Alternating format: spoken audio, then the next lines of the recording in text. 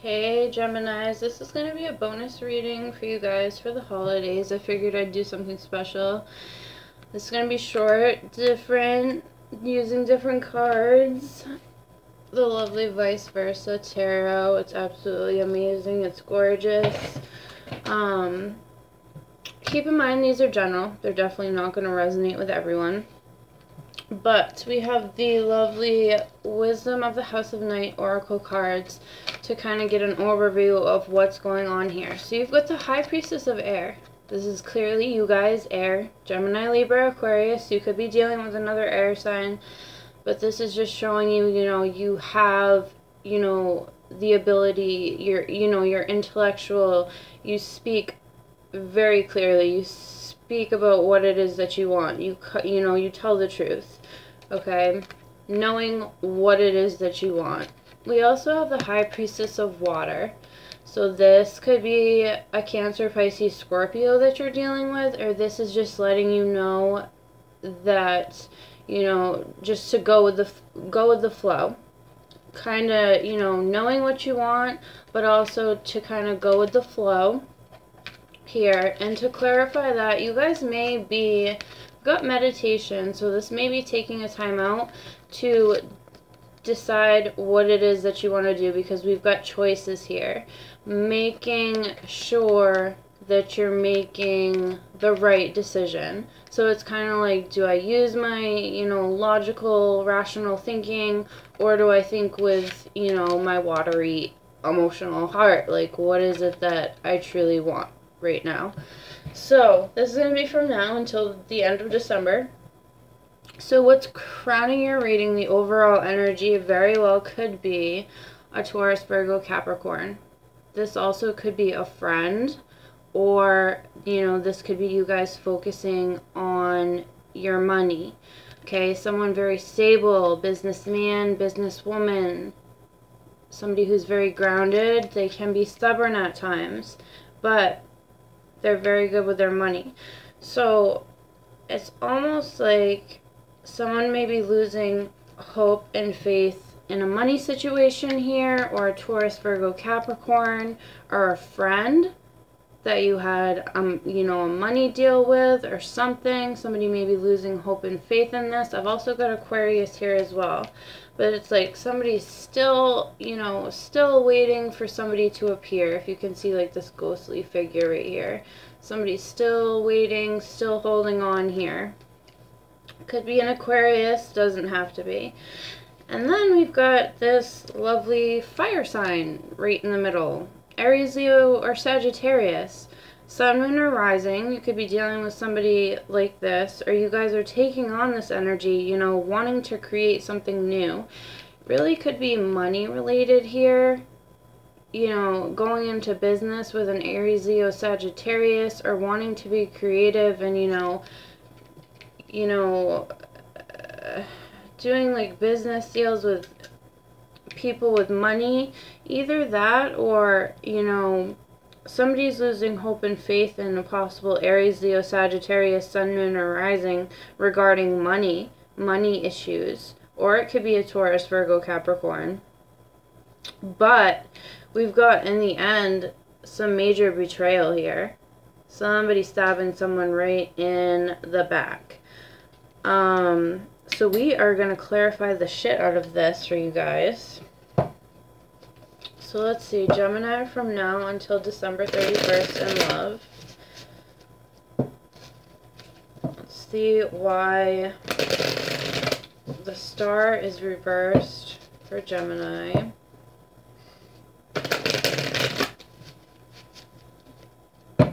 You could be waiting on an Aries, Leo, Sagittarius or something to do with money. They may need to like pay you back and it just doesn't happen and somebody gets stabbed in the back here. Definitely could be a money situation, or it could be involving a Taurus, Virgo, Capricorn, is what I'm or an Aquarius. Let's, so let's see. Why is the star reversed for Gemini?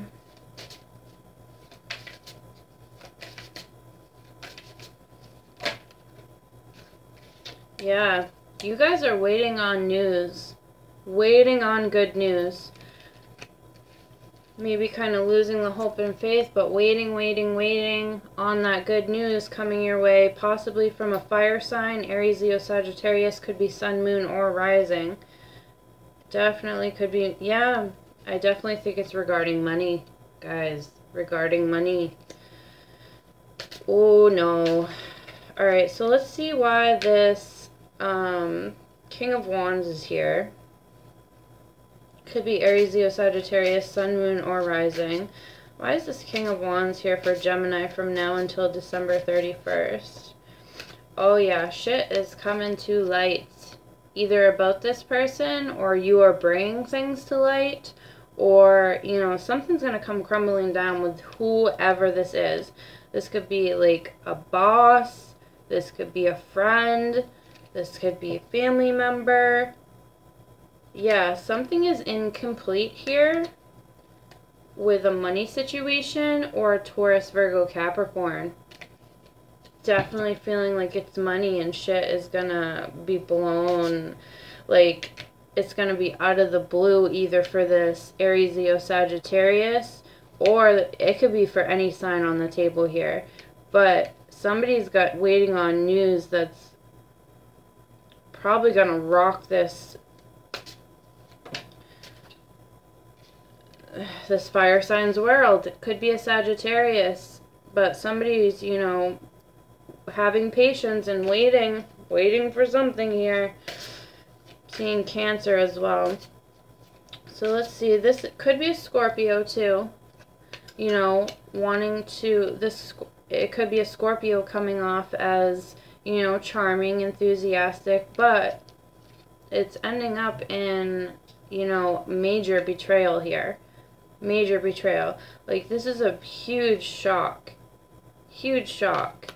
Um, so let's see. Let's check out the tower. Why is the tower here for Geminis from now until December 31st? Could be just money, you know, money troubles that you guys are going through. Yeah, see, someone may give someone here a second chance or revive the past with someone after things come crashing down. It's like something needs to be brought to light. Yeah, we've got somebody walking away. Whoever there's blocked communication with or a delay in communication with, they're walking away. Definitely think this this Aries Leo Sagittarius is going to be walking away and then we've got Judgment here. So somebody wants a second chance. Why is Judgment here for Geminis from now until December 31st?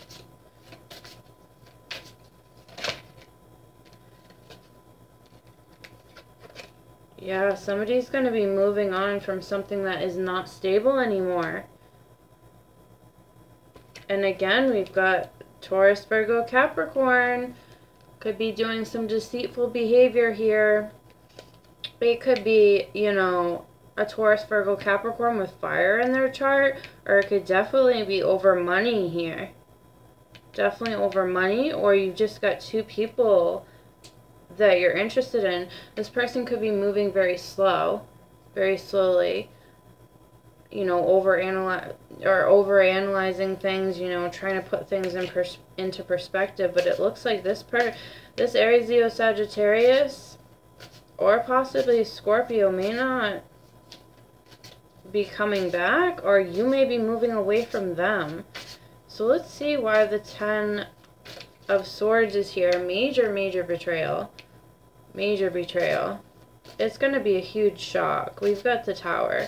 So why is the Ten of Swords here for Geminis from now until December 31st? Very well could be a Sagittarius that stabs you guys in the back or vice versa here. But Sagittarius is, you know, waiting. Maybe waiting on this, you know, to get revenge on somebody or this fire sign is trying to get revenge on you.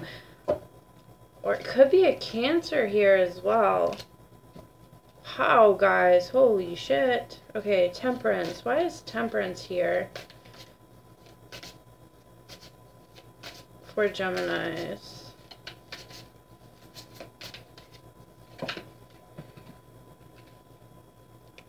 Yeah. Somebody's going to be done with somebody here. Somebody's going to be very stressed out, carrying a lot of burdens. 10 10. Somebody's going to be done with this fire sign or done with another. Yeah, see, somebody's going to manipulate a situation here. Manipulate a situation. I definitely think it's involving money. It's not going to be fair. The outcome is not going to be fair, not going to be balanced. Something unjust is going to happen. Um, there could be manipulation. Something unjust could be done to a fire sign or you guys or something within money, Taurus, Virgo, Capricorn. I've also got Gemini, Libra, Aquarius here. Manipulating. So if you're involved with another air sign or an Aries, there's manipulation here for sure. For sure. And shit is gonna come crashing down, guys. But I do see someone, you know, regaining their emotional balance, you know, balancing their thoughts and their emotions here, which explains why, you know, the thought card is here with the water card, you know, balancing those thoughts and emotions so you're able to make the correct choice, but be very careful. This choice card speaks of light and dark, balancing the light and dark equally you know, making sure you're making the correct decision here. Or somebody is cutting out a manipulator here. And somebody is going to be... Oh, Lord. Yeah, somebody is lying, guys, and it's going to cause some betrayal. Definitely picking up Aries, Leo, Sagittarius, another air sign, Gemini, Libra, Aquarius, Sun, Moon, or Rising. But somebody's waiting on on some news. Somebody is waiting on some news. God, you, you guys' readings are always crazy for me. So let's see why... Let's go to the After Tarot and see why the Knight, or the King of Pentacles. Definitely feel like it's a money situation here. Or there's two people involved. Alright, Gemini from now until December 31st.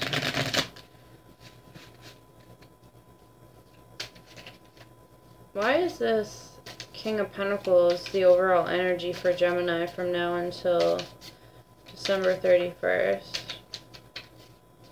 Why is the King of Pentacles the overall energy for Geminis?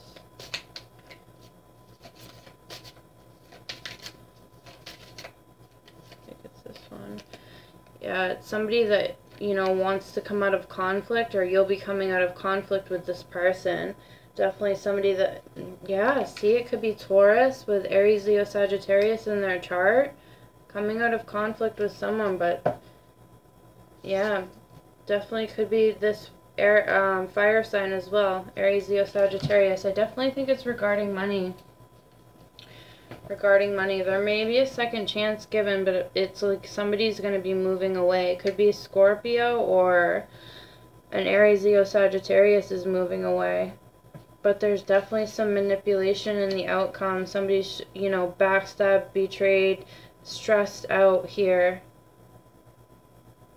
Stressed out. So let's see why. And I'm seeing Sagittarius, Aries, Gemini, Libra, Aquarius. So let's see why the Queen of Swords and the Magician is reversed. Why is the Queen of Swords and the Magician reversed for Geminis from now until December 31st?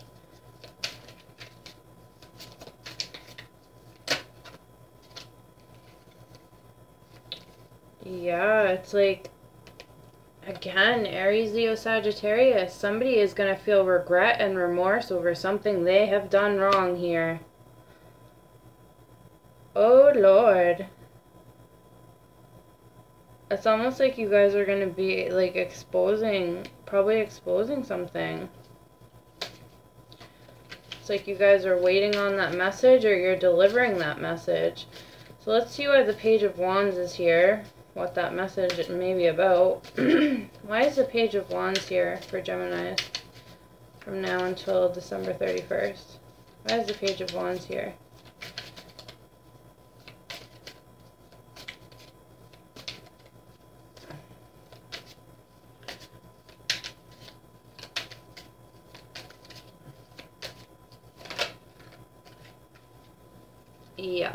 There is going to be an ending. Someone's just waiting.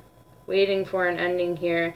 Or they could be waiting on a message from a Scorpio here as well. Yeah, there's a Scorpio or, you know, somebody's trying to communicate because they want to build with you. They're losing hope and faith. Or, you know, this message is regarding, you know, somebody's hoping on a message that, you know, something will end. Could be a Scorpio or Aries, Leo, Sagittarius. This is insane, guys. So let's see why Judgment is here. Actually, I'm going to take the Judgment away because second chances, somebody's moving away. There's definitely like two people involved here. So, let's see. Why is the Tower here with the King of Wands for Gemini from now until the December 31st?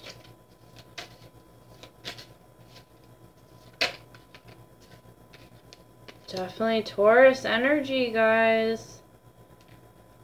Or like somebody is not gonna, like somebody wants a higher level of commitment here. It could be a Scorpio that's coming off, you know, could be a Scorpio with Aries, Leo, Sagittarius in their chart, but the ending is not looking good, guys. Somebody's like stabbing someone in the back here.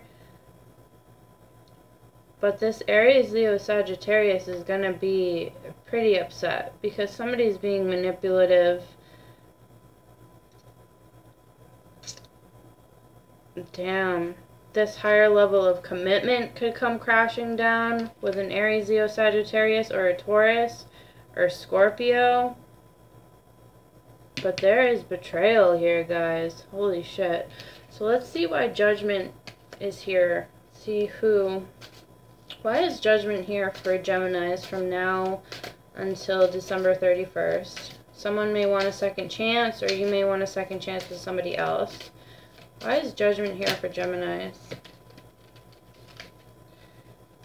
Yeah, there's definitely a third party here, guys. Definitely a third party, and someone may end it someone may want a second chance, but you know, there's a third party here, so somebody's not gonna, and somebody's not communicating right now, or somebody won't be communicating about it. That's why there's gonna be a betrayal here, guys. There are three people involved. Oh, good lord. Geminis, your readings are always crazy for me, but you got a Scorpio waiting on you. You got a Scorpio waiting on you for sure. And it's like, dang, like, it, this is the vice versa tarot, so it's pretty positive, but they're, you know, they're still waiting. They're still clinging to that hope and faith.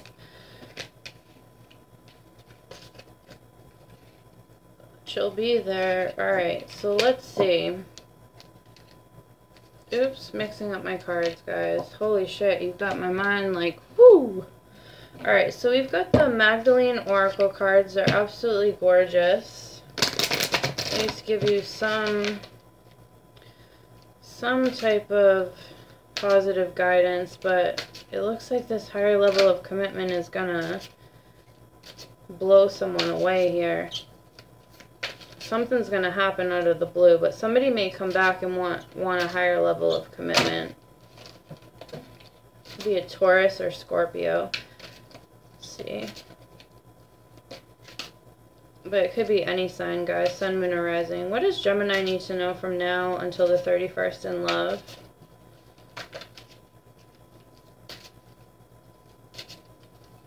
So make sure you make the right decision, guys.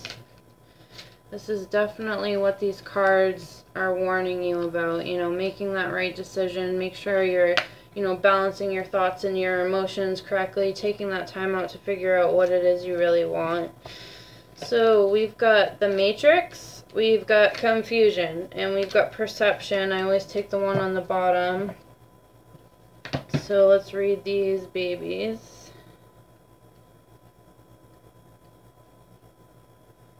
Let's do perception first. So we've got beware. Someone you are attracted to has a tendency to use other others to fill their own void. To some extent, this is true of most relationships. However, in this particular case, the void wanting to be filled is in, instead not not not going to happen. I can't pronounce that word. Nothing you say or do will ever be enough, so tread carefully. Don't allow yourself to be drawn into other people's problems. All is not the way it is presented. Use your intuition and trust your natural instincts. In spite of its problems, a valuable lesson will be derived from this relationship as you realize that we are each responsible for our own well being. Taking on another's emotional baggage is of no help to anyone, so remain emotionally detached and use your sixth sense. Wow, guys. Alright, so then we have the Matrix. Let's see if we can find this sucker. Alright. The Matrix. Trying to figure out why certain things happen is like attempting to piece together a thousand piece jigsaw puzzle while only having a few pieces of the puzzle in your possession. You cannot fully understand the present situation using the logic of your infinite mind. Just know that a bigger picture exists, even though it is not possible for you to see it at this time.